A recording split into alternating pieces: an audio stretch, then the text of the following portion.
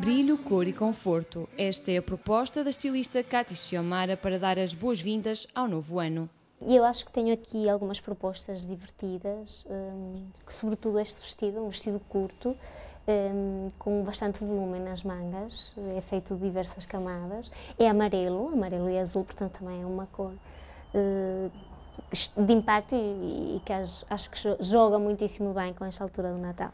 A estilista luso-venezuelana aposta no curto, nas sobreposições, nas cores e tons fortes, mas sobretudo no brilho. Tem brilho, tem bastante brilho, acho que é muito importante nestas ocasiões.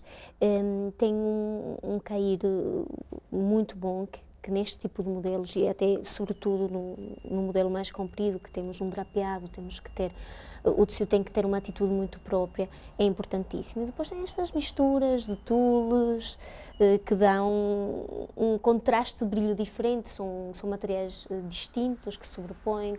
Conjugando fluidez e conforto, as criações da estilista adaptam-se a qualquer silhueta.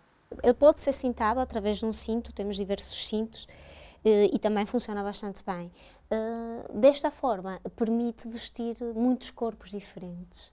O que, é o que é bastante bom. E o azul, apesar de ser um, um pouco mais justo, também funciona muitíssimo bem porque tem um drapeado com diversos volumes que acaba por disfarçar outros volumes que, que nós possamos ter. Criações elegantes, simples, mas repletas de detalhes. Sugestões da estilista para receber o novo ano com todo o glamour. Não são tons tão tão fortes.